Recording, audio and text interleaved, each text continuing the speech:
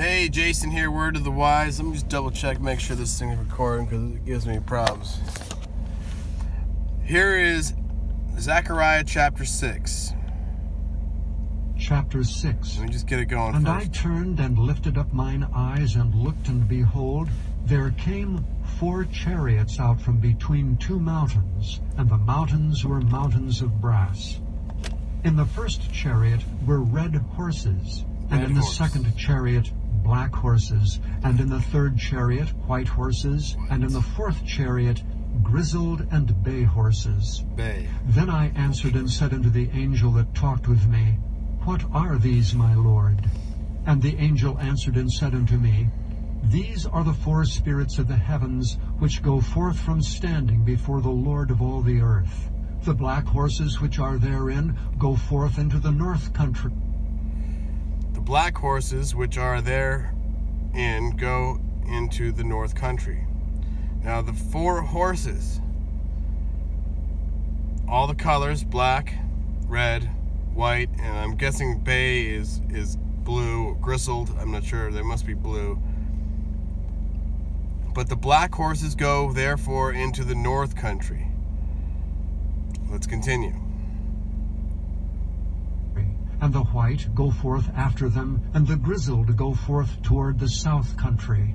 And the bay went forth and sought to go that they might walk to and fro throughout the earth. And he said, Get you hence, walk to and fro through the earth. So they walked to and fro through the earth. Then cried he upon me and spake unto me, saying, Behold, these that go toward the north country have quieted my spirit in the north country. The black horse goes towards the north country. And behold, they go toward the north country, have quieted my spirit in the north country. Now, I've pointed out in Amos the famine for not food and not water, for the word of God. The black horse in Revelation 6 was the weighing of the balances of the wheat and for a penny for salvation. And then going into Revelation 7, they are the ones that hunger no more and and will thirst no more, who came out of great tribulation. So here we are having the black horse in the North Country, which you could say the North Country is North America, uh, Europe, or Russia. All three, Canada. I mean, all of those are pushing God out of their societies. I've seen churches get attacked by SWATs in Russia. I've heard that, I mean, you can't preach or read a Bible in the, in the streets of England. And who knows what goes on in, in France or, or Switzerland or any of those other countries right now. I don't want to speculate and, and put anybody under that or anything like that, but notice that the North Country could be us for sure. And they have quieted my spirit in the North Country.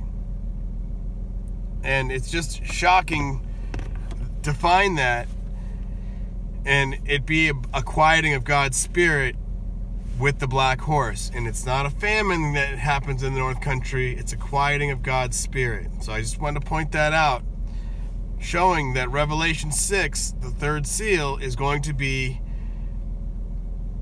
probably around the time when to be a Christian is going to be illegal, whether it be through some AI church, the Noahide laws, the the Torah laws, which are probably going to lead to the Noahides, which I saw a great video this morning about how the Noahides are being presented even to by the presidents from Reagan on that it, it- it's a Freemason teaching. And they are the ones that want to have these Noahides supposedly through this video that's what I got out of it was that they they want to have the Noahides come to be because there again Christianity will become illegal because if you believe in in Jesus or you work on a Saturday you could be beheaded for the belief of Jesus or working on a Saturday. I heard rabbis saying in a in an interview that was just a recording, and I think it was on Watchmen of the Wall, or no, no, it was on Point Preparedness, and I put a link to that. I think in one of my last videos, saying that if you see somebody, you know, working on a Saturday, to stone them to death. And then you'll hear the Torah believer say, well, that's not the way it works. You go before a judge and and and a priest and it comes to a judgment. It's like either way you're judging to kill somebody for working on a Saturday. You think that's not extreme? And Jesus taught, love thy enemy. And you can go through Romans 8 and Romans 9 and find great information so I'm gonna cut this short at that.